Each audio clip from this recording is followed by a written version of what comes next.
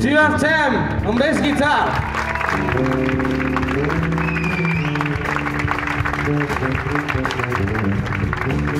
Thank